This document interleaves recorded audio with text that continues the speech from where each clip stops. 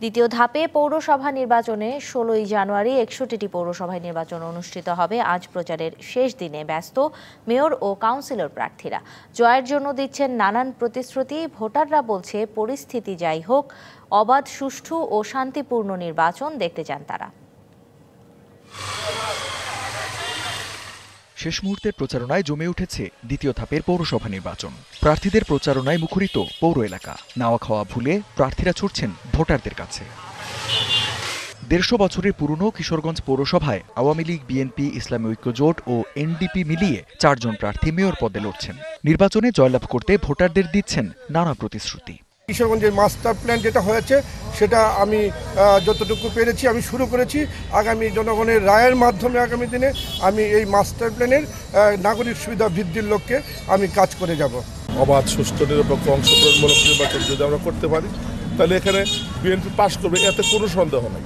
এবং আমরা শতভাগ আশাবাদী। কিশোরগঞ্জের কুলিয়ারচর পৌরসভার নির্বাচনে ভোট হবে ইভিএমে আওয়ামী লীগ ও বিএনপি দুই দলের প্রার্থী জয়ের ব্যাপারে আশাবাদী।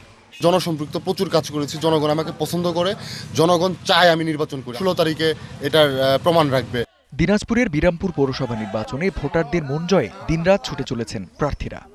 বিধবা ভাতা বয়স্ক ভাতা সহ বিরামপুর পৌরসভা রাস্তাঘাট ড্রেন কালভার্ট শিক্ষা সংস্কৃতি নিয়ে সার্বিক উন্নয়নের আমি কাজ করব। ষোলোই জানুয়ারি নির্বাচনে প্রতিদ্বন্দ্বিতা করছি। থানা বিএনপি পৌর বিএনপি আমরা সম্মিলিতভাবে কাজ করছি এবং জয়ের লক্ষ্য নিয়েই এগিয়ে যাচ্ছি ইনশাল্লাহ কুমিল্লার চান্দিনা পৌরসভা নির্বাচনে প্রথমবার ইভিএমে ভোট হতে যাওয়ায় ভোটারদের আশঙ্কা দূর করতে প্রচারণা চালাচ্ছেন প্রার্থীরা। আমাদের নেত্রী মাদকের বিরুদ্ধে যুদ্ধ ঘোষণা করেছেন। আমি যদি নির্বাচিত হই আমার জীবন থাকতে আমি মাদকের বিরুদ্ধে আমি অবস্থান নেব। আমরা সংখ্যা মুক্ত নই যে আগামী নির্বাচনটা সুষ্ঠু এবং নিরপেক্ষ হবে। আমাদের ভোটাররা শুধুই একটাই প্রশ্ন করে যে আমরা ভোট কেন্দ্রে যেতে পারব তো? ইভিএম ভিত্তি কাটাতে বৃহস্পতিবার মক ভোটিংয়ের ব্যবস্থা করেছে নির্বাচন কমিশন আর সুষ্ঠু নির্বাচনের জন্য প্রস্তুত আইন শৃঙ্খলা রক্ষাকারী বাহিনী। রঞ্জিত শেখার ডিবিসি নিউজ ডেস্ক।